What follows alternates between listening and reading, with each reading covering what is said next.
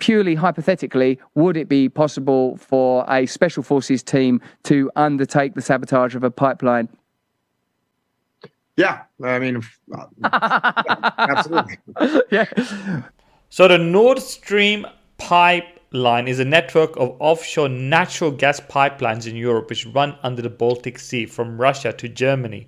In that clip, Russell Brand was speaking to a Navy SEAL and he asks him hypothetically that would the uh, US Special Forces be able to destroy the pipeline? Not that they would ever, ever consider actually doing that. No, no, no. But would they have the ability to do that? And the answer was yes, absolutely.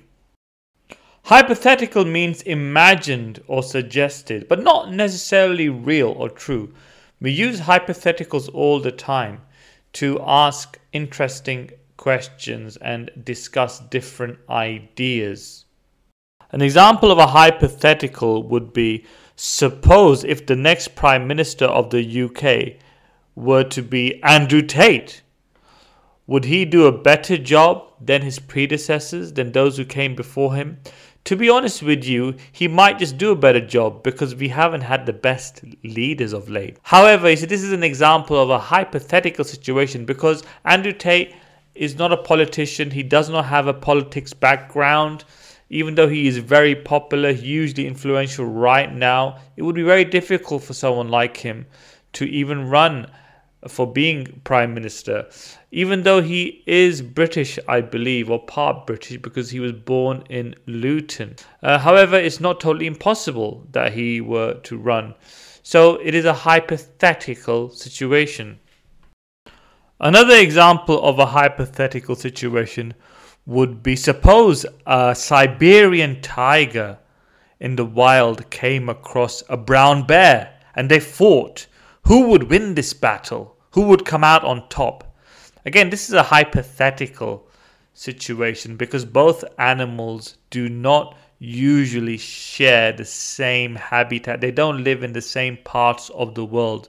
So this would normally not happen. However, could they be brought together and then made to fight? Probably by some twisted human beings. Uh, that could turn out to be true. So, in that situation, who would win? Suppose extraterrestrial beings or aliens from outer space or some far off planet millions of galaxies away were to make contact with human beings. How would they behave towards us? Would they be friendly or hostile? And another one, imagine if AI or artificial intelligence took over all the jobs in the world and there was no work left for us human beings. What would we do? How would we survive and how would it all work out?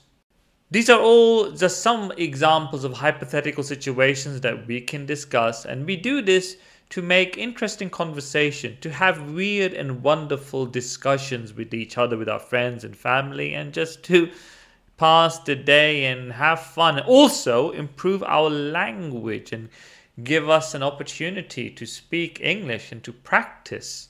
A great way to practice our English and discuss a number of really interesting scenarios.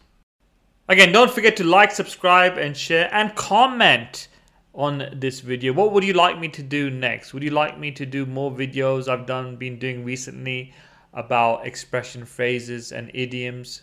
Or would you like more such videos? Let me know in the comments and see you in the next one. Goodbye.